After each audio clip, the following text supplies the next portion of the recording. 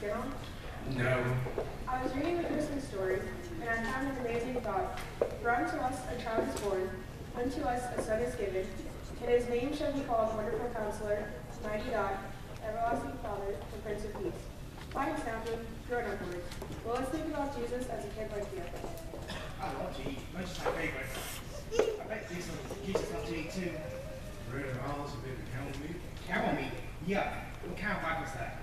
We'll see late in the morning. I bet Jesus will sleep in the late. His mom called Jesus, get out of bed. The day's almost over. And there he was, just sleeping under the blankets with, a, with his feet flopping on the ends. To work, Jesus worked hard. Can, can you imagine Jesus fixing up the leg on the kitchen table or sweeping that, sweeping that wood chips from Joseph's carpenter shop? Did Jesus have football, basketball, baseball him? I would like my grandma. She makes the best cookies. I wonder if Jesus, Jesus ever visited people. Don't forget grandpa. Jesus' life as a kid might have been a lot like yours, except for a few things.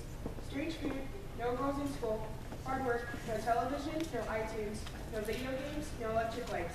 Come to think of it, Jesus' life was a lot different than yours. But Jesus had one thing that makes all the difference in the world. It was his gift to all of us and all the world. Jesus said, I have come that they may have life and may have it abundantly. If I were a shepherd, I would give him lamb. What can I give? Give me my heart.